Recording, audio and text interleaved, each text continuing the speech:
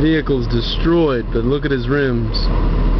That's a Ford Explorer with the back just cut off with like saws and stuff. But he's got nice rims.